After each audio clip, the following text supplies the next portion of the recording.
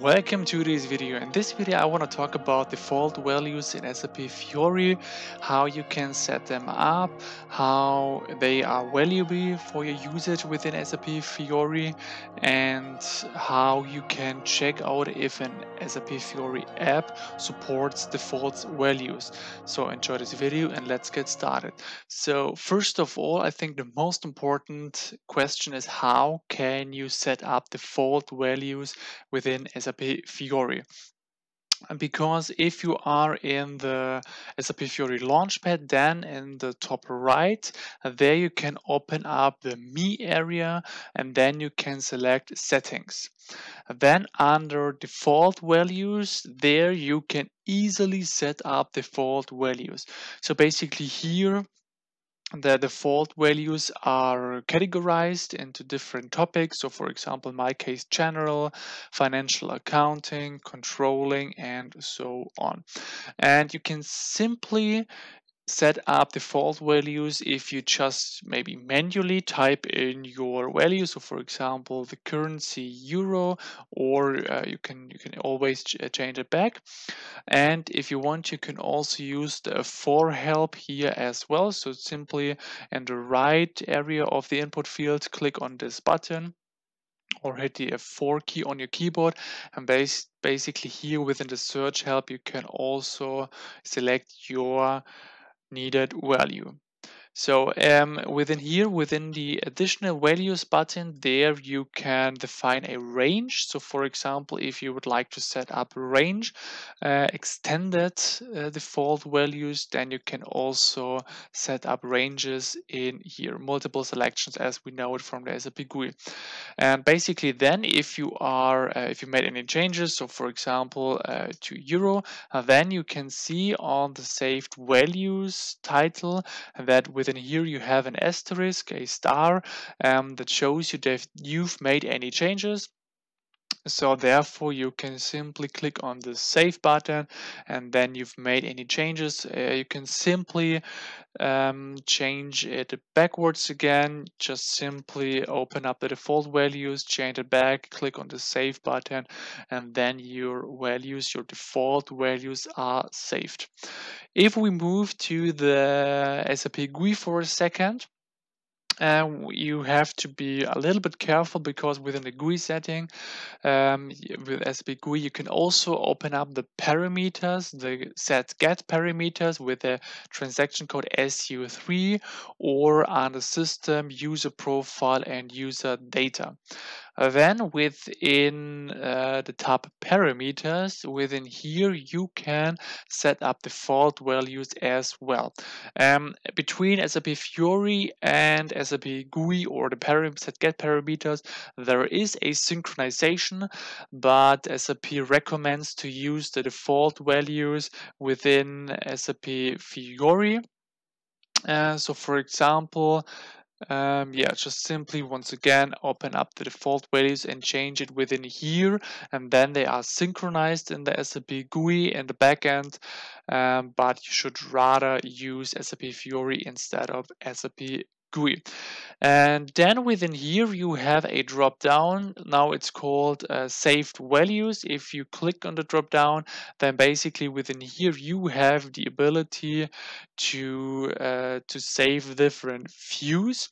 So for example, we're doing this right now. We change it to euros. Then we go on here. Then we click on save as, and then for example, yeah, um, few euro doesn't matter.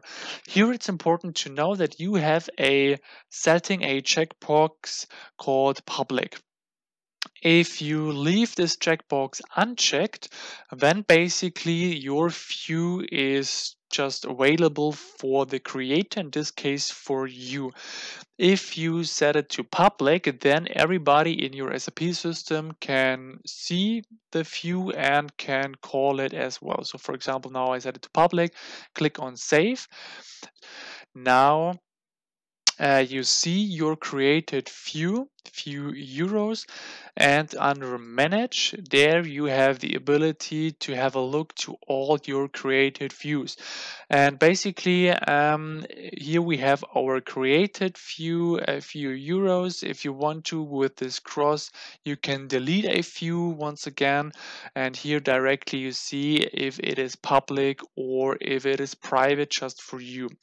Um, what does this uh, star at the beginning mean? Here you can set up a few as a favorite so basically, if you uh, yeah, uncheck this and save it, then you can't access your view within the drop down. Um, so therefore, you have to uh, yeah click the star once again, and then it is once again uh, ready to be accessed. And for example, if you would like to make any changes to an existing view, then let's just select your view and then you have to make your changes. So for example, for the currency, and then it's important that you don't select your uh, the, the save button that you select the save button within the views here so this is really important so then um, you've made the changes and then, for example, if you're calling this once again, then your changes are ready. So, and yeah, basically that's, uh, I think, important to know regarding the views. So, and now I would like to show you because right now we have the default views, um, for example, for the company code 1010. So let's get out of here.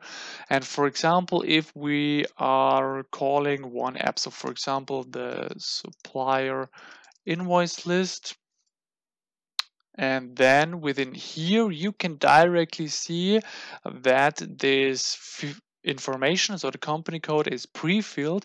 So basically this is a default value in my case. So, and how can we check, for example, if an SAP Fiori app supports default values? So therefore we have to go to the SAP Fiori manager, the app manager. So therefore within the SAP GUI, you can simply call the app manager within the transaction code slash UI2 slash FLPAM. Then you open up the SAP Fiori Launchpad application manager, so the app manager. And within here, you can find out if an SAP Fiori app supports default values. So within the tab Launchpad app described scripted items, therefore you have to enter your app ID, of uh, your SAP Fiori app. By the way, if you want to get to know how you can easily find the app ID of an SAP Fiori app, I have described and explained this in an own video. I will link this here to you. And within the input field SAP Fiori ID, you can enter your ID. So in this case, for the supply invoice list app, you have to enter F1060A, then hit the enter key. And here we can see the item. Then basically, yeah, you, you into, you click this item. So, and then basically, okay, I don't want to make any changes. Uh, then within the parameters tab, here you can find out if your app defaults a, uh, supports a default values and what kind of value. So in this case, this app supports the company code and you can see this within here under defaults value if it supports. So in this case, it supports the user default extended version of the company code and this is the additional values button what I showed you a couple of seconds ago so the ranges.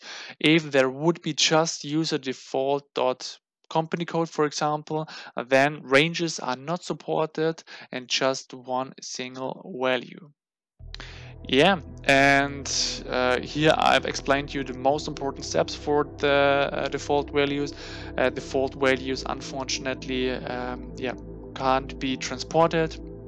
They have to be set up in every SAP system.